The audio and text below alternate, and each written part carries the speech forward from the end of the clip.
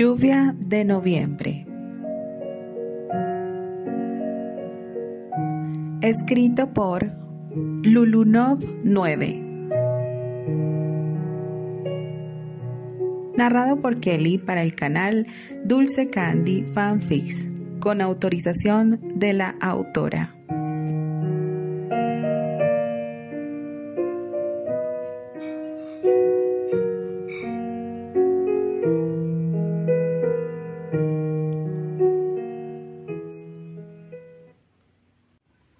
Capítulo 7. La llegada.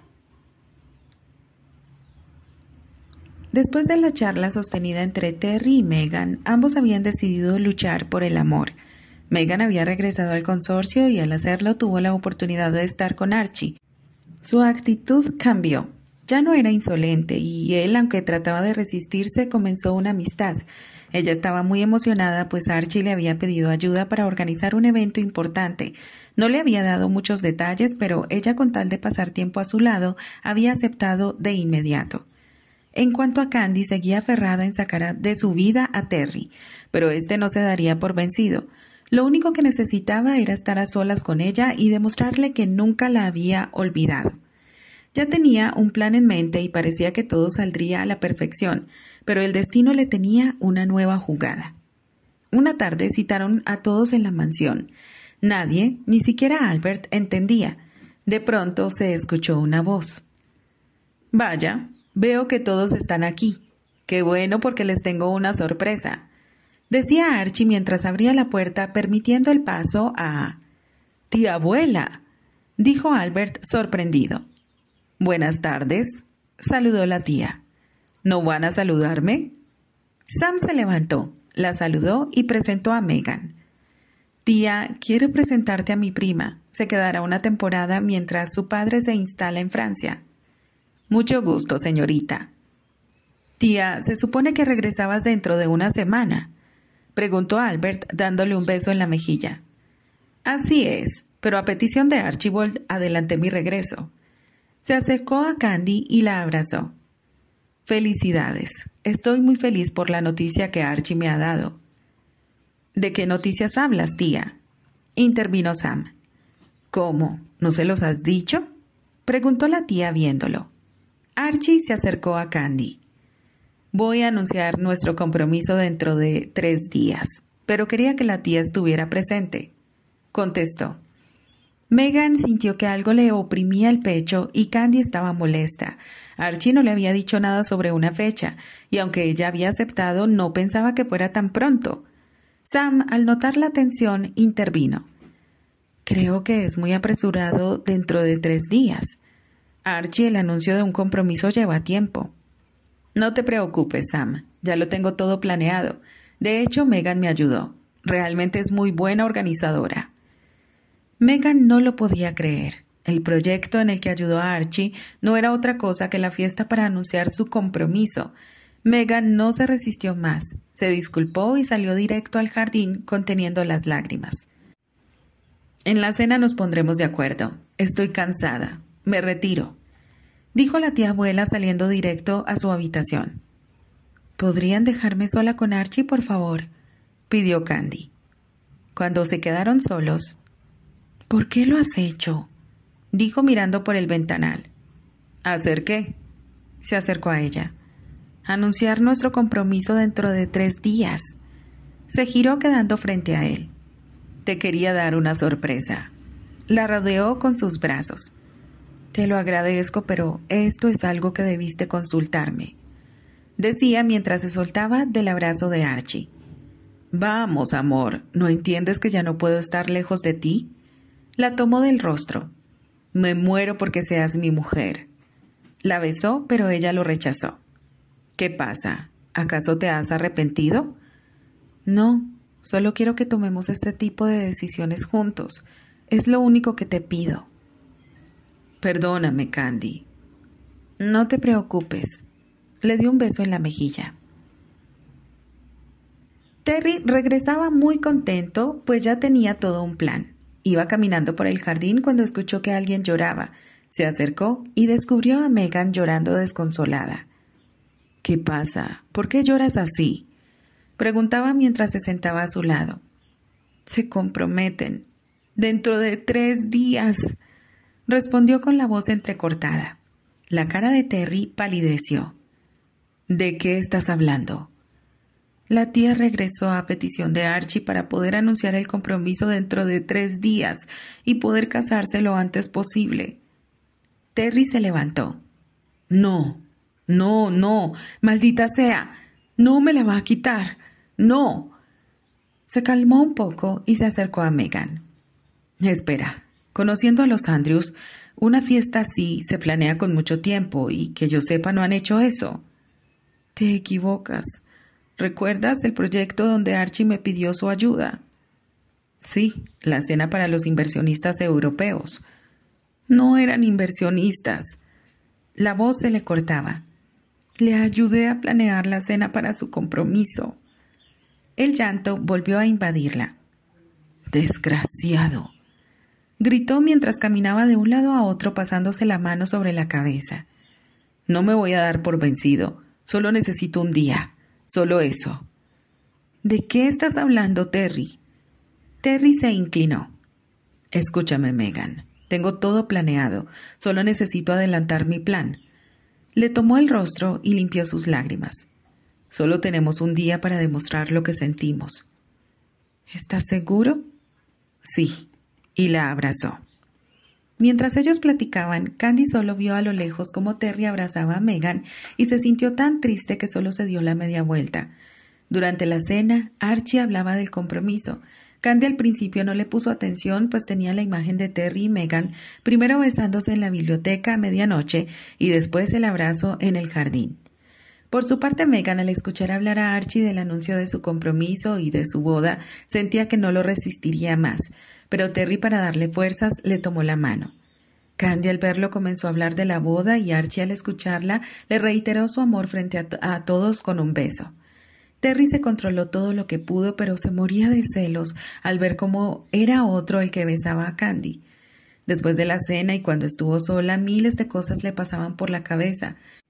Era cierto que quería a Archie, que había aceptado casarse con él, pero al sentir la fecha tan cercana comenzaba a dudar, pero cuando la imagen de Terry besando a Megan aparecía, todas sus dudas desaparecían. Tal vez no amaba a Archie, pero sabía que a su lado sería feliz. Así transcurrió el resto de la noche. Cuando el sol apareció, Candy se levantó. Quería despejarse como lo hacía cuando tenía oportunidad, así que se vistió, se internó en el bosque y comenzó a trepar árboles. Después de un rato se dio cuenta de que estaba cerca de la colina de Pony, así que se apresuró, pero de pronto escuchó el trote de un caballo acercándose. No distinguía el rostro por el reflejo del sol. Cuando se acercó más, vio un hermoso caballo negro y sobre él un chico que conocía muy bien. ¿Tú? ¿Esperabas a alguien más, Pecosa? Candy no respondió. Se dio la media vuelta y comenzó a caminar. Terry la seguía sobre su caballo. Podemos hablar, pedía Terry. ¿Cuándo vas a entender que yo no tengo nada de qué hablar contigo? respondía mientras caminaba más a prisa. Terry se puso frente a ella con el caballo. Quítate del camino, exigió. Habla conmigo. He dicho que no, rodeó al caballo. Y yo he dicho que vamos a hablar. Y mientras decía esto, la tomó por la cintura y la subió con él al caballo. ¿Pero qué crees que haces? forcejeaba. Bájame en este instante, Terence. Pero Terry la sujetó con más fuerza y comenzó a galopar. Bájame. Sujétate o te caerás, gritó Terry. Candy al sentir los galopes obedeció. Galoparon por un buen rato, hasta que llegaron a un lugar lejos de Leywood. Terry se detuvo, bajó y ayudó a bajar del caballo a Candy. Cuando Candy bajó del caballo y quedó frente a Terry, intentó darle una bofetada, pero Terry le sujetó la mano y la atrajo hacia él. Ni siquiera lo intentes, Pecosa. Candy lo empujó. ¿Dónde estamos? preguntó mientras arreglaba un rizo de su cabellera. En un lugar donde vamos a poder hablar, dijo acercándose a ella. ¿Cómo te hago entender que yo no tengo nada de qué hablar contigo? Le daba la espalda. ¿Y cómo te hago entender de que si no hablamos no te dejaré regresar? Estás loco. Conozco los alrededores y puedo regresar sola. Se giró y comenzó a caminar. Terry la sujetó del brazo. ¿Por qué estás tan enojada? No entiendo por qué me evitas. Déjame regresar. No, no lo voy a hacer. No ahora. Pasa conmigo esta tarde. Es lo único que te pido. Le decía viéndola a los ojos. Candy no supo por qué, pero aceptó. Gracias. No te vas a arrepentir. Terry la tomó de la mano y la condujo unos cuantos metros dentro del bosque. ¿A dónde me llevas? Terry se detuvo y le señaló. Candy al ver dónde apuntaba Terry se sorprendió al ver una manta en el pasto, una canasta con comida y vino. Una vez te prometí un día de campo. Candy no sabía qué decir. El hecho de que Terry se acordara de la promesa hecha una tarde de verano en Escocia la sorprendió mucho, se dejó conducir por Terry y se sentó a su lado. Terry, yo... Shh. No digas nada. Solo disfrutemos de esta tarde, por favor. Candy solo sonrió. Sin darse cuenta, poco a poco comenzaron a platicar. Candy se sentía bien y Terry estaba haciendo un máximo esfuerzo por no besarla, pues no quería arruinar el momento. Así, sin darse cuenta, transcurría toda la tarde. Mientras tanto, en el consorcio, Megan hacía su parte, pero el plan no estaba dando resultados, pues Archie, después de una plática con Albert, había salido furioso y ella lo único que pudo hacer fue seguirlo. Espera, te acompaño, gritaba mientras corría tras él. Como quieras. Fue lo único que contestó. Los dos iban en el auto. ¿Qué fue lo que pasó? preguntó muy tímidamente. Pasa, Pasa que todo mundo juzga mis actos. No entienden que no soy un niño. ¿Por qué no detienes el auto y charlamos? propuso Megan. Archie accedió y se detuvieron cerca de un puente. Los dos bajaron y comenzaron a platicar.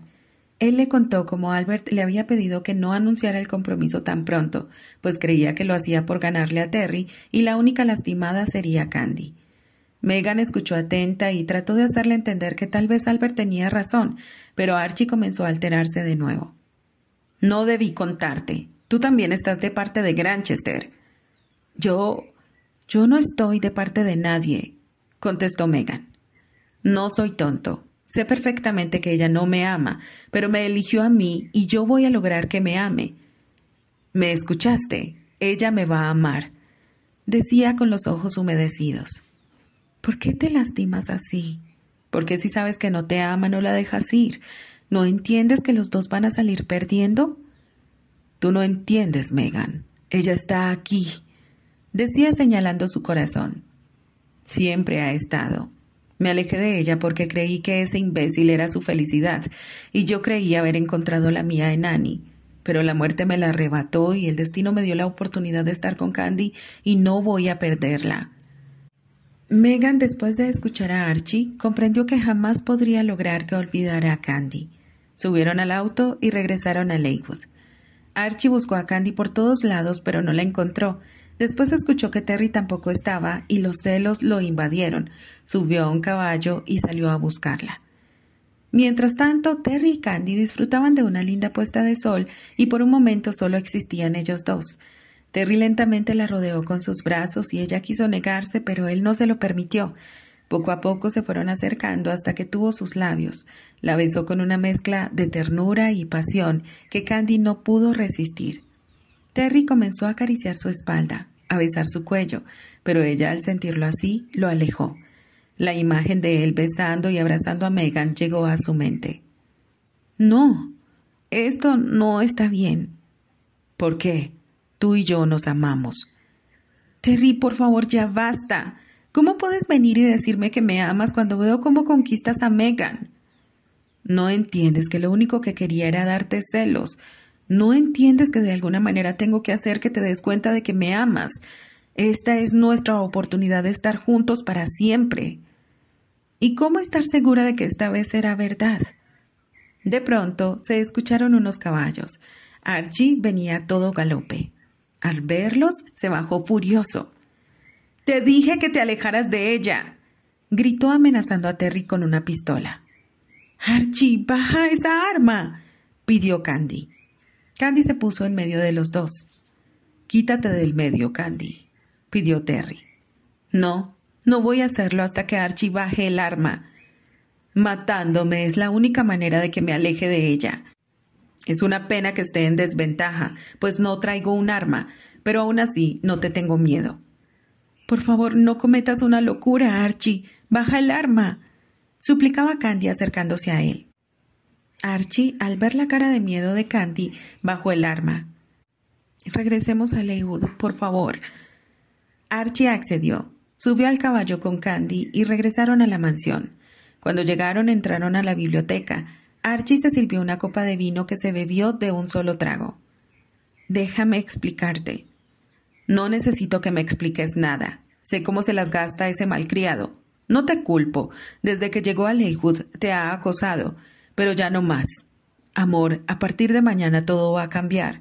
Serás mi prometida ante todos y él tendrá que irse. Se acercó y la besó. Ve a descansar. Mañana es nuestro día. Candy se fue a su recámara y al recordar las palabras de Terry volvió a dudar sobre comprometerse con Archie.